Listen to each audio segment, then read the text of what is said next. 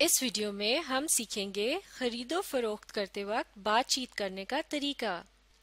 चलिए मिलकर पढ़ते हैं और देखते हैं कि हमें क्या करना है। आप भी पढ़िए। Fill in the speech bubbles fill in यानी पुर कीजिए। द स्पीच बबल्स जैसे कि यहाँ आप ये एक स्पीच बबल देख सकते हैं। इस स्पीच बबल का इशारा इस लड़की की तरफ़ है, यानी सना की तरफ़। तो इस स्पीच बबल में हम लिखेंगे, सना की कही हुई बात। जैसा कि यहाँ इस दूसरे स्पीच बबल में कुछ लिखा हुआ है और इसका इशारा इस शॉपकीपर की तरफ़ है। शॉपकीपर यानी दुकानदार। तो इसमें लिखी है, दुकानदार की कही हुई बात। इसके अलावा यहाँ हमें चंद जुमले भी दिए गए हैं। तो हम इन जुमलों में से दुरुस्त जुमले को चुनकर खाली स्पीच बबल में लिखेंगे। चलिए सबसे पहले मिलकर इन जुमलों को पढ़ते हैं। आप भी मेरे साथ पढ़िए। Thank you very much thank you यानी शुक्रिया वेरी मच बहुत ज़्यादा। थैंक यू वेरी मच का मतलब है बहुत शुक्रिया। और थैंक यू वेरी मच कब कहा जाता है? जब कोई आपकी मदद करता है या आपको कोई चीज़ देता है तो आप कहते हैं थैंक यू वेरी मच अब अगला जुमला पढ़ते हैं हियर यू आर हियर यहाँ यू आप आर हो। इस जुमले का लफ्सी मतलब तो होगा, यहाँ हो आप, लेकिन अंग्रेज़ी बोलचाल में हियर यू आर तब कहा जाता है जब आप कोई चीज़ किसी दूसरे को दे रहे होते हैं तो अगर आपसे कोई पेंसिल मांगे तो आप उसे पेंसिल देते वक्त क्या कहेंगे? हियर यू आर तो इसका मतलब होगा, ये लीजिए। हियर यू आर का उर्दू में दुरुस्त मतलब बनेगा, ये लीजिए. अब अगला जुमला पढ़ते हैं you are welcome you are welcome का मतलब है आपको खुशामदीद हो। इंग्लिश बोलचाल में you are welcome thank you के जवाब में कहा जाता है। यानी जब कोई आपकी मदद करता है तो आप उसे थैंक यू कहते हैं और वो जवाब में यू आर वेलकम कहेगा। इसका मतलब होता है कि उन्हें आपकी मदद करके खुशी हुई है और वो आइंदा भी ऐसा करना चाहेंगे। अब अगला जुमला पढ़ते हैं। We one K G carrots and one dozen bananas we हमें वॉन्ट चाहिए वन एक केजी यानी किलोग्राम कैरेट्स यानी गाजरें एंड और वन यानी एक डजन दर्जन जब कोई चीज़ तादाद में बारह होती है तो उसे दर्जन या इंग्लिश में डजन कहा जाता है। वन डजन यानी एक दर्जन। बनानास यानी केले। We we want 1 kg carrots and 1 dozen bananas यानी हमें एक किलोग्राम गाजरें और एक दर्जन केले चाहिए। केजी किलोग्राम की शॉर्ट फॉर्म है। इसका ताल्लुक चीज़ों के वज़न से होता है। चलिए अब मिलकर पढ़ते हैं कि सना और आसिम दुकानदार से खरीदो फरोख्त करते वक्त क्या बातचीत करते हैं। आप भी पढ़िए। Sana and Asim go to the shop Sana और आसिम गो टू जाते हैं द शॉप दुकान। Sana and Asim go to the shop यानी सना और आसिम दुकान जाते हैं। अब आगे पढ़ते हैं। They want to buy fruits and vegetables they यानी वो वॉन्ट टू चाहते हैं बाय खरीदना फ्रूट्स यानी फल एंड और वेजिटेबल्स यानी सब्ज़ियाँ। They want to buy fruits and vegetables यानी वो फल और सब्ज़ियाँ खरीदना चाहते हैं। चलिए अब इस तस्वीर में देखिए, सना और आसिम दुकान पहुँच गए हैं और दुकानदार उन्हें देखकर कह रहा है मिलकर पढ़िए। हाय चिल्ड्रन इंग्लिश बोलचाल में मिलते वक्त, मिलने जुलने के आदाब के तौर पर किसी को अपनी तरफ़ मतवजा करने के लिए हाय भी कहा जाता है। और चिल्ड्रन का मतलब है बच्चे। और यहाँ एक्सक्लेमेशन मार्क लगा है। इसका मतलब है इस बात को ज़ोर देकर कहा जा रहा है। हाय चिल्ड्रन यानी हाय बच्चों। अब आगे बढ़ते हैं। What can I do for you what यानी क्या? कैन आई डू मैं कर सकता हूँ। फॉर यानी लिए यू यानी आपके। और आगे क्वेश्चन मार्क है। तो शॉपकीपर पूछ रहा है what can I do for you यानी मैं आपके लिए क्या कर सकता हूँ? यानी शॉपकीपर सना और आसिम से ये पूछना चाह रहा है कि वो क्या खरीदना चाहते हैं। तो अब आप सोचकर बताइए, ऊपर दिए गए सेंटेंसेस में से कौन सा सेंटेंस सबसे ज़्यादा सूट करेगा इस सवाल के जवाब में? Thank you very much here you are you are welcome या we want 1 kg carrots and 1 dozen bananas.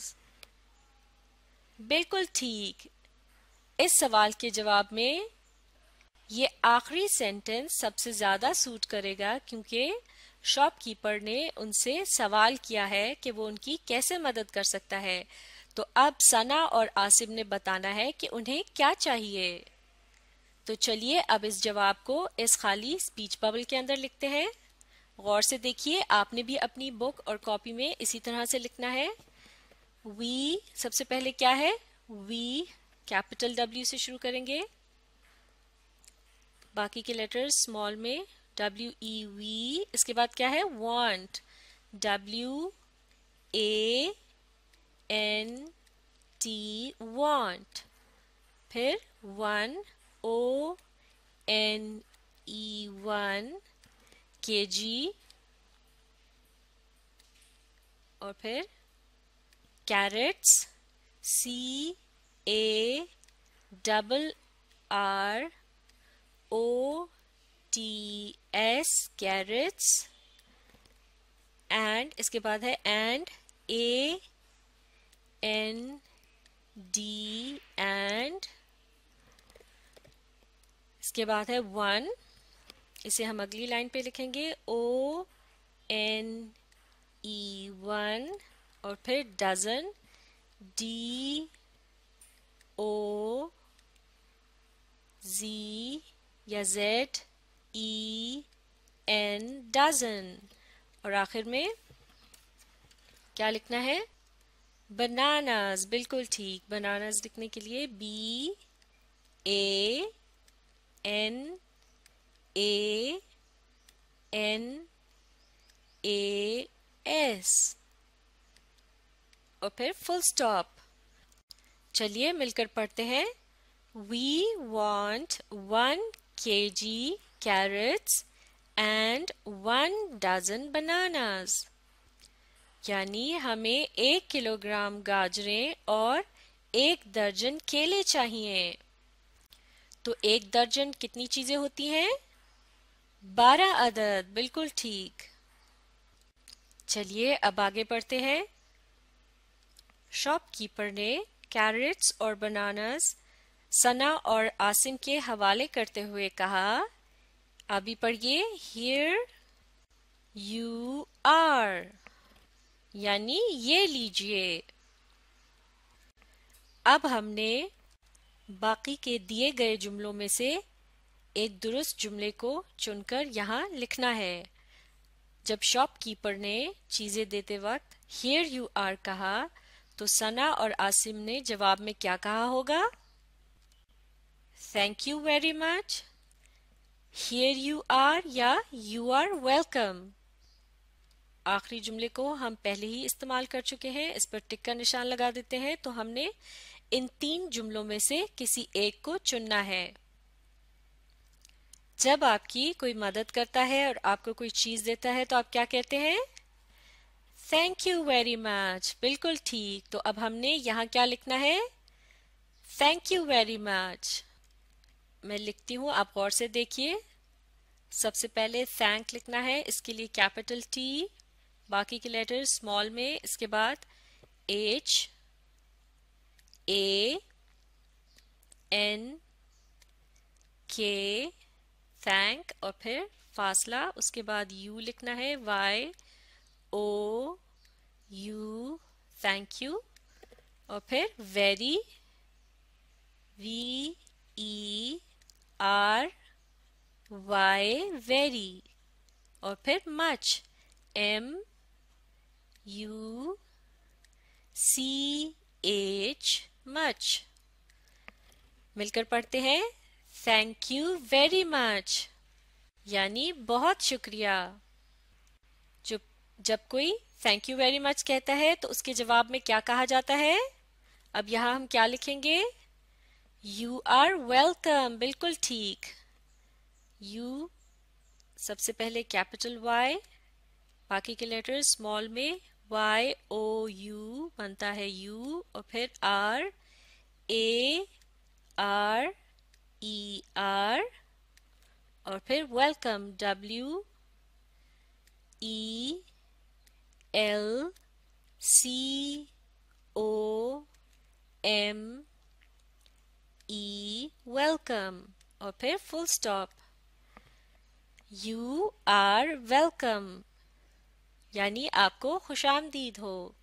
अब आप गौर से सना और आसिम की तस्वीर को देखिए। इनके हाथों में क्या है?